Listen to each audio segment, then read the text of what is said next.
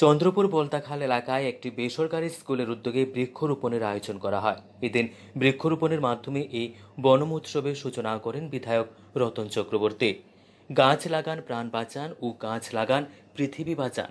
এই আহ্বানকে সামনে রেখে হয় বনমোৎসব সভ্য জাতি হিসেবে আত্মপ্রকাশ করতে গেলে অনেক সু অভ্যাস রাখতে হবে।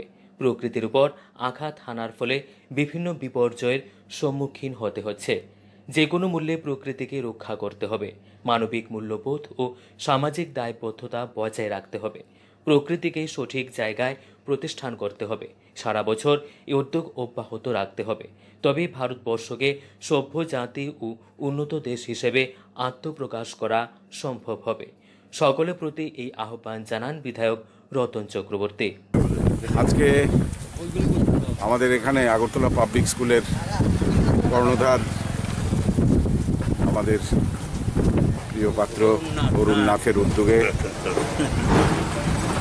যে বৃক্ষরোপণ কর্মসূচি এতে অংশগ্রহণ করে আমি নিজেকে ধন্য মনে করছি এবং আমাদের সঙ্গে উপস্থিত আছেন আমাদের ইউনিভার্সিটির প্রাক্তন উপাচার্য সবার শ্রদ্ধেয় শ্রী সাহা মহোদয়, আছেন আমাদের পলিউশন কন্ট্রোল বোর্ডের চেয়ারম্যান সাহেব এবং এলাকার প্রতিনিধিগণ, পঞ্চায়েতের আমাদের সভ্য জাতি হিসেবে আত্মপ্রকাশ করতে গেলে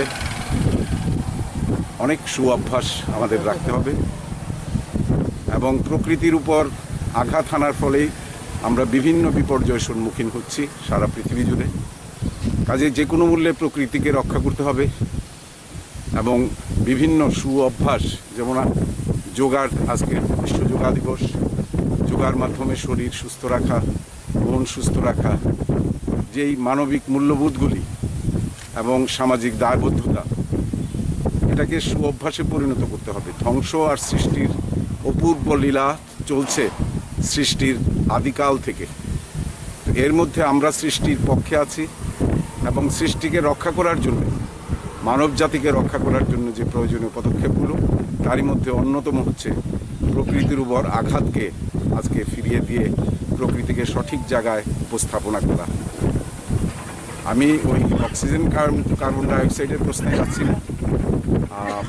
আজকের যেই উদ্যোগ, সেই উদ্যোগ সারা বছর অব্যাহত গতিতে চলুক এবং আমরা আজকে করোনা মোকাবেলায় যেভাবে নতুন নতুন অভ্যাস আমরা তৈরি করছি, সেগুলো যাতে আমরা কন্টিনিউ করতে পারি, সেটা যাতে চিরকালীন হয়, তাহলে ভারতবর্ষকে সত্যিই আমরা সভ্য জাতি হিসেবে, উন্নত দেশ হিসেবে আত্মপ্রকাশ করাতে পারব। আমাদের অত্যন্ত গর্ব যে এই আন্তর্জাতিক যুবা দিবসও আমাদের মাননীয় প্রধানমন্ত্রীর নেতৃত্বে রাষ্ট্রসংঘে সাধারণ সভা যে প্রস্তাব হয়েছিল, তিনি করেছিলেন।